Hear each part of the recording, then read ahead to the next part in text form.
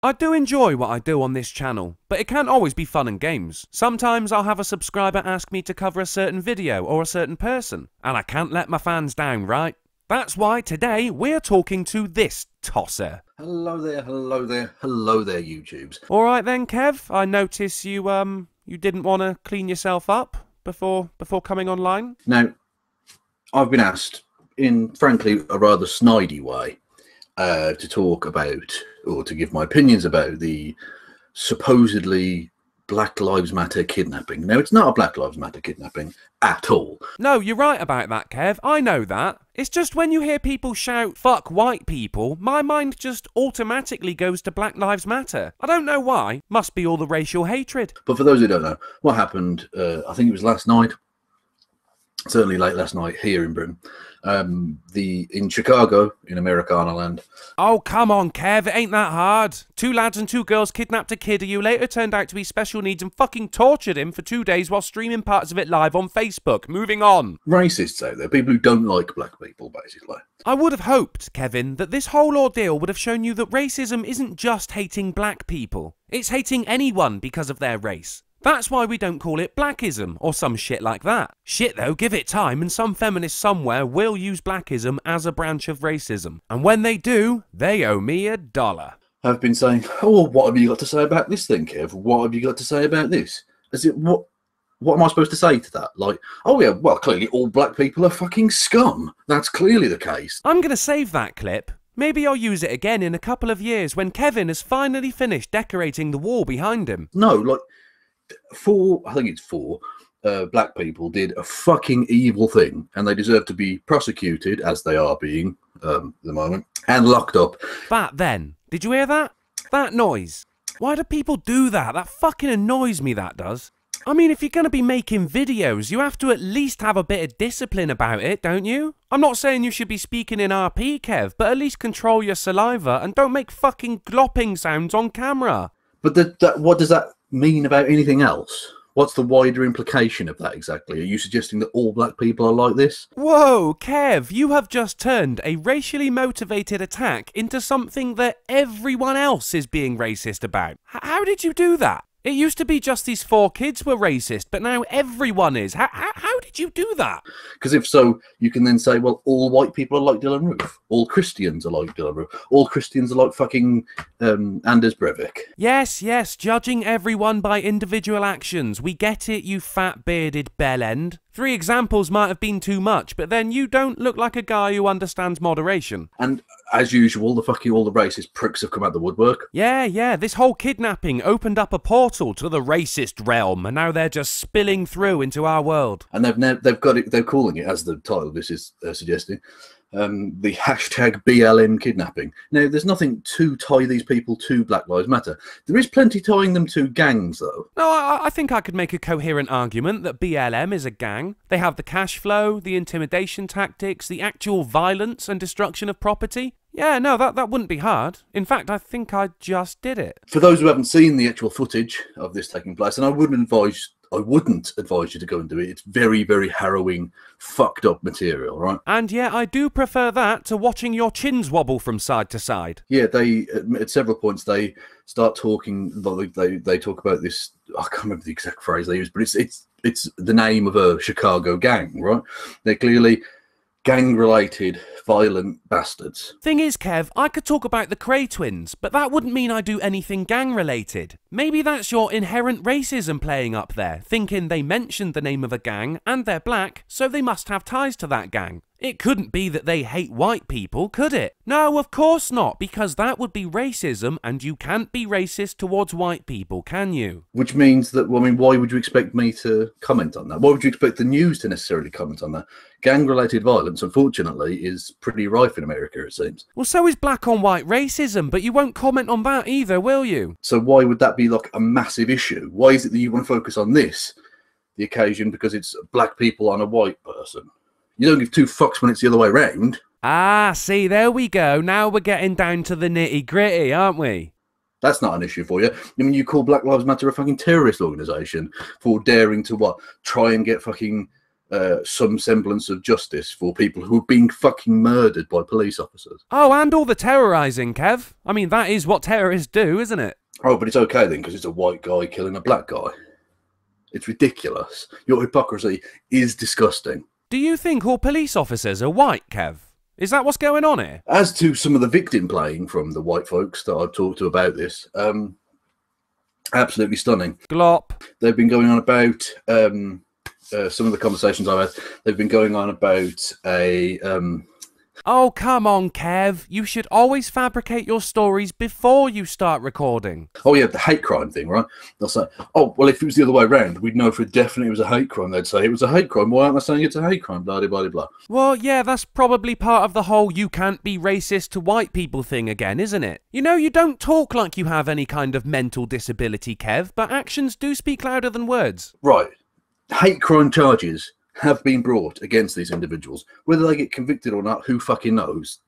the justice system in America doesn't seem particularly great. Oh, and you really aren't happy about that, are you, Kev? You can't say shit because even your feeble little mind can see it was a hate crime, but you aren't happy about it, are you? Oh, those poor little kidnappers. But whatever. Hate crime fucking charges have been brought against them. So you can shut up. You can shut the fuck up with that nonsense now, okay? It's it's it's ridiculous bullshit. Oh, Kev, careful, mate. You almost had a burp then. You shouldn't have had that second helping of beef chow mein. And it's it's an extension of this fucking again, quote unquote thinking, uh, that people go on about the white genocide and all this. I'm not saying everyone who thinks a lot who made a point about the the um Glop. The uh, hate crime thing uh, are necessarily white genocide fucking assholes, right? Is it white genocide or fucking assholes, Kev? Pick one. But it's an extension of that. It's essentially one step away from that. It's this necessity for for deeply insecure, psychologically fragile individuals who are white in this occasion uh, to want to play the victim. Half the shit you advocate is about playing the victim, you mayonnaise eating butterball. It's really pathetic, especially when white people run the fucking world. I'm not so sure about that one. For instance, China's president is Chinese. Kind of amazing I had to say that, isn't it? You really aren't in a position where you can say like, "Oh, white people are really badly put upon," because they're fucking not. They're just not. That's nonsense. Okay. Oh, is that all you're going to say about that? No facts, no evidence, just say it and move on. Okay, so no one had faced violence or anything because of the colour of their skin, no? Even though this whole thing is about the racially motivated attack on a white guy. No? No, of course not. But send me a link to all of those institutions devoted to getting white people into academia, Kev. I'd like to see that, and so would my crippling debt. The fact that some fucking prick. Like uh, who writes for fucking BuzzFeed? Oh, BuzzFeed made a video, or you uh, uh, MTV made a video. Kev, I really need to talk to you about the advantages of planning what you're going to say before you say it.